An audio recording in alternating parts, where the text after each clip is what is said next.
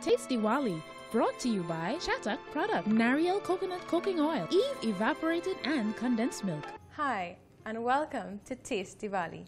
I am Siddhi Sankar, and today we're making carrot halwa, a spin on the traditional parsad. First, what we're going to do is add some water to our small pot and create our infused milk.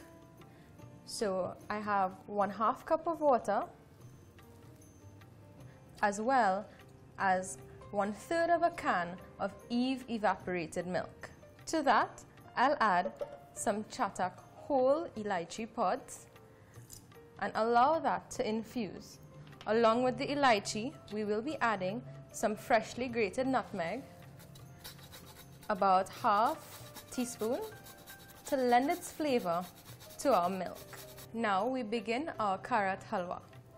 We add some ghee to our pot, followed by 4 cups of carrots, grated. Our carrots will begin to cook, sizzle, and fry in the oil, as well as develop the taste from the natural fats from the ghee. We cook this for about six to seven minutes. It is important to fry your carrots and remove as much moisture as possible. So the moisture in our carrots have reduced by half and we're going to reduce our flame as well.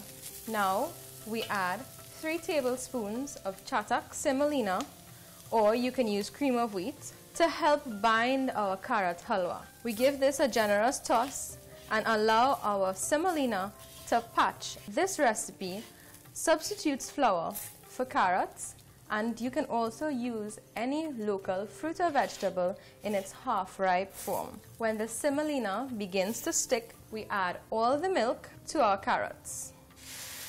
Quickly and carefully stir to incorporate and ensure that all the semolina is covered by the milk.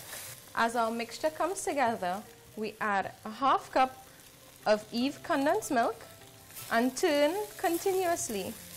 We keep our heat on a medium and allow our mixture to dry out. At this point, we'd like to add some raisins to add a pop of color and texture. As our carrot halwa gets thick and creamy, we'll add an element of crunch with some chatak almonds. We give this a stir and reduce our flame. As our halwa continues to dry out, the water evaporates and all the flavors infuse itself into this dish. At this point, when your halwa is at this consistency, being thick and mushy, we're going to turn off the heat and allow it to cool inside of the pot which we cooked it. So, our carrot halwa has already cooled and we're just going to plate it up very nicely.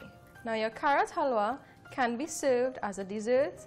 It can be offered for those who pray and use parsad, as well as it can be solidified by drying it down further and cut into squares and distributed.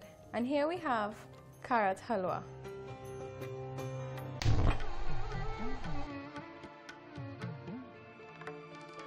Taste Diwali, brought to you by Chatak Product, Nariel Coconut Cooking Oil, Eve Evaporated and Condensed Milk.